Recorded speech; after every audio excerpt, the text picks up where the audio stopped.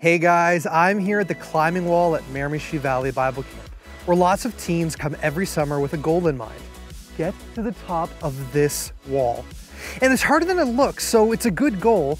And some teens make it, and like some goals, some teens will just have to try again next summer.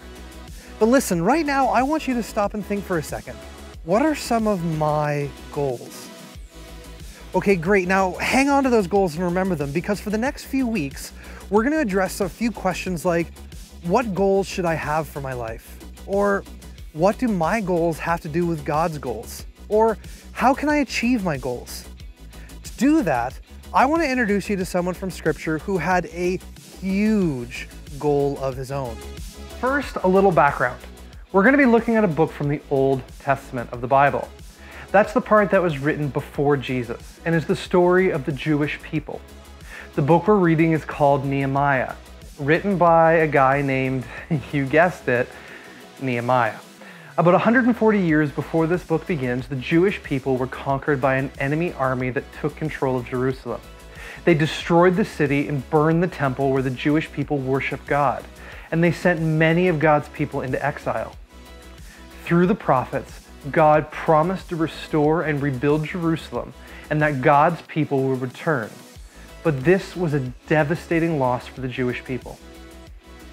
After Jerusalem was destroyed, a new king took control, and some of God's people began to return to Jerusalem, looking for ways to rebuild what they had lost. But this was a long process. About 140 years after Jerusalem was destroyed, the story of Nehemiah begins. Nehemiah was passionate about seeing Jerusalem restored, but he wasn't just anybody. He was serving in the government working for the king of Persia. Now, Nehemiah had a big goal inspired by a big problem. Nehemiah already knew that Jerusalem had been destroyed. That was old news. But when Hanani told him that the Jewish people were returning Jerusalem and the walls were still in shambles, Nehemiah saw the problem. Without walls, God's people will be vulnerable to another attack. But there was also a spiritual problem. You see, the city of Jerusalem was deeply connected with the Jewish people's relationship with God. Rebuilding the walls would be a way for them to honor God. But leaving them in shambles would be a sin against God. Nehemiah wanted to see the whole nation of Israel turn back to God, so he set a God sized goal find a way to rebuild the walls of Jerusalem. Nehemiah's goal wouldn't just benefit himself, but would serve his people and God too. His goal began with difficulty. Nehemiah didn't set his goal because he needed a cool New Year's resolution. He set it because there was a problem that needed to be solved, and he believed that he could help solve it. When Nehemiah identified the problem that needed to be solved, he grieved and wept. See, solving this problem wasn't just a fun hobby, it mattered deeply to him. His goal began with prayer. As Nehemiah wept, he also fasted and prayed. He knew his goal was so big that he couldn't do it by himself. Before he made a single move, he asked God for wisdom, guidance, and help. Then he kept praying for months. His goal began with God's help. Nehemiah stood up from his prayer and fasting, determined to attempt a series of impossible tasks. He knew his own wisdom and experience wasn't enough to guarantee success, so he asked God for help. The size of this goal forced Nehemiah to put all of his faith in God, who would do what Nehemiah couldn't.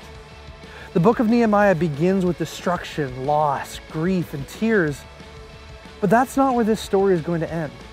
When Nehemiah heard the news about Jerusalem's crumbling walls, he discovered an important truth. Big difficulties inspire God sized goals. It's not hard to set goals that benefit you. Most of us do that every New Year's. But those kind of goals are like running on a treadmill. You see, on a treadmill, some people can run for hours, logging tons of miles and burning lots of calories, but they aren't going anywhere. No matter how many steps they take, they'll never leave the place they started. When we set us-sized goals, it's like running on a treadmill. We don't really go anywhere. And guess what? We're the only ones who benefit. So what's the alternative? How can we learn from Nehemiah and set God-sized goals that can change the world? See, we can set little goals like maybe learning a song on the piano, but that's not going to change the world, is it? It begins with difficulty. I don't mean you need to cause yourself difficulty, and I don't mean you need to wait until something difficult happens to you. There are difficulties happening all around us. We just need to open our eyes and notice. Maybe you've experienced difficulty like loss, bullying, discrimination, or difficulties with your family or health. Chances are someone has experienced the same difficulties that you have. So how can you help? Maybe that's where your God-sized goal can begin.